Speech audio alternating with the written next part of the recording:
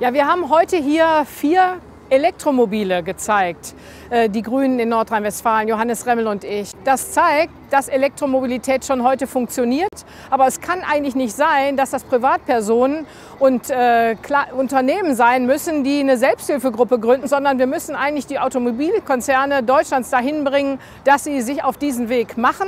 Und Nordrhein-Westfalen ist das Automobilzulieferland. Und wenn wir hier nicht rechtzeitig aufpassen, dann äh, geht der Zug an uns vorbei. Deshalb müssen wir hier dringend was tun. Wir können ähm, selber als Land ähm, vorangehen, indem wir unsere Fahrzeuge zukünftig elektrisch bestellen oder indem wir überall an unseren Gebäuden Ladestationen auch einrichten. Aber darüber hinaus müssen wir unsere Forschungslandschaft zusammenbringen in einem Netzwerk.